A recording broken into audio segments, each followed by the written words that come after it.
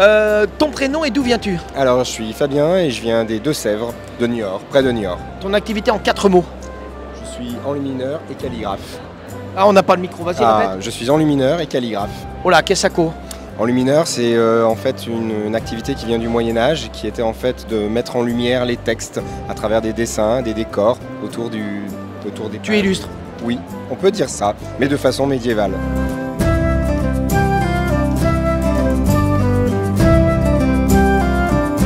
Avec euh, la tradition. Exactement.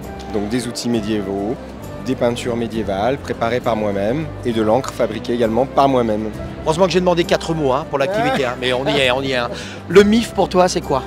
Le MIF pour moi c'est quoi? C'est alors l'occasion euh, bah, de mettre en valeur mon métier, de faire découvrir euh, ce savoir-là qui est peu connu aujourd'hui, c'est un métier qui n'existe plus beaucoup. Et puis bah voilà, c'est pour pouvoir euh, toucher le plus grand monde possible et faire découvrir ce beau métier. Est-ce que euh, ta voix était la même euh, jeudi qu'aujourd'hui? Non, pas du tout. Et pourquoi? À force de parler, les gens sont très curieux, demandent énormément de questions. On a un monde de folie, donc euh, bah voilà, on fait découvrir, mais on n'a plus de voix. Qu'est-ce que que t'en as pensé de l'interview là? Écoute, euh, très sympa, donc euh, plutôt content, avec des gens souriants, donc impeccable. Bon bah tout se passe bien, merci beaucoup. Oui, bah merci à toi. Bonne journée. Bonne journée. Merci.